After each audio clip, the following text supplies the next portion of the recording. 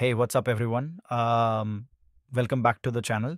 Today, I'm super excited to talk about like this awesome tool called a BTOP, a modern and resourceful system monitor that's seriously a game changer for anyone who's into keeping an eye on their system's performance. So, um, let's dive right in. So, BTOP is um, developed by Aristocratos, and uh, it's written in C++. It's like the modern alternative to the old school monitors like HTOP, Glances, or even BashTop, which, by the way, is its predecessor. With BTOP, you get a super intuitive, interactive, and visually appealing interface that makes monitoring your CPU usage, memory consumption, disk activity, network bandwidth, and all your running processes a breeze. Now, one of the key features that really stands out is how BTOP displays live updates of all these system metrics. You can literally see um, your CPU load, memory usage, disk input, output, and network traffic in real time. It's perfect for diagnosing performance bottlenecks or just keeping track of resource utilization during those uh, intensive tasks. And here's something cool the interface is fully interactive and customizable. You can rearrange panels, change color schemes, and decide exactly what information you want to see. Whether you're into multiple built in themes or um, you want to create your own custom color scheme to match your style, the choice is totally yours.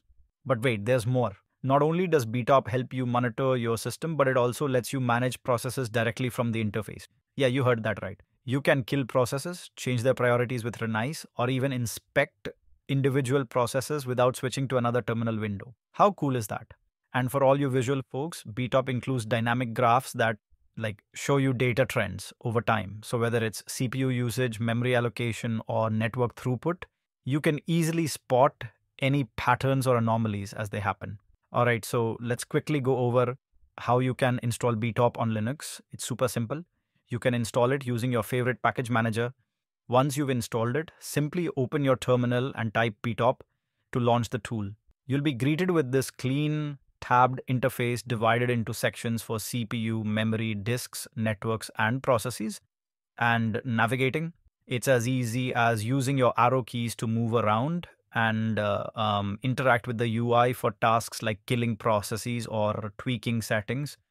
So that's BTOP for you, a modern, interactive, and um, highly customizable system monitor that makes keeping an eye on your system resources not only efficient but also pretty cool to look at.